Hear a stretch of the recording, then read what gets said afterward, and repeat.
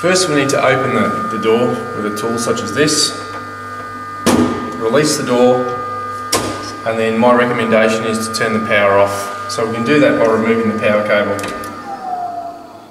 Here the detector power down and the lights will go out. The first thing we need to do is locate these two screws and remove them to get the cover off. Then we simply slide the cover out towards us a bit and then out to the left hand side then it will just fall out making sure that it's secure on the tethers. Now this is the chamber here that we need to replace. To get to the chamber we've got to pull out the sampling module as well as the filter. So it doesn't matter what order you do that, we can take the filter out now put it on the table. And we need to take the sampling module out so that we can get to screws underneath. So there's three screws to be removed, which are now done. And this cable here has to be disconnected, like so. And the sampling module pulls straight out the front. Okay, once the sampling module and the filter's been removed, we can see the four screws, one, two, three, four, that we need to remove to get the detection chamber out.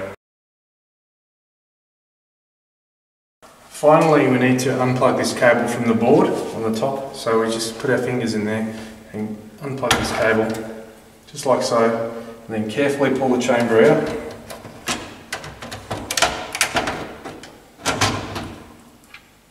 And now we've fully removed the detection chamber.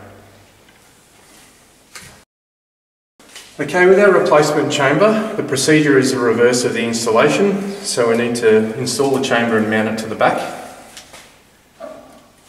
Put it, locate it in, in situ, just like that. Line the screw holes up, hold the chamber and start to sink the screws back into the chassis.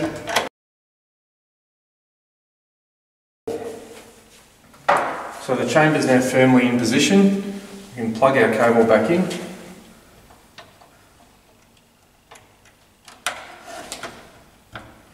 Just like that.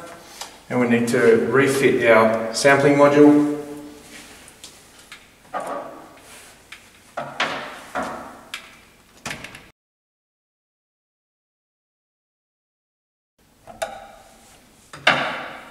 Need to plug this cable back in.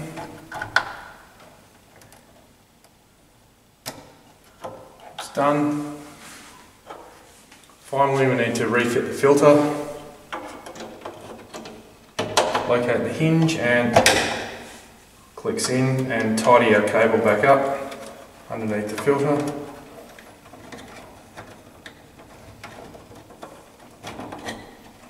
That.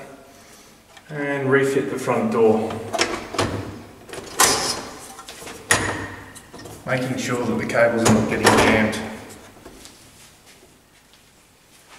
Put our two screws on. Then we can power up the detector.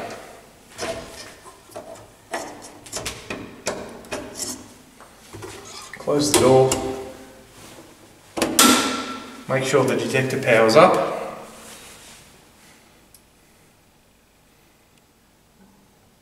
Goes through its initiation sequence.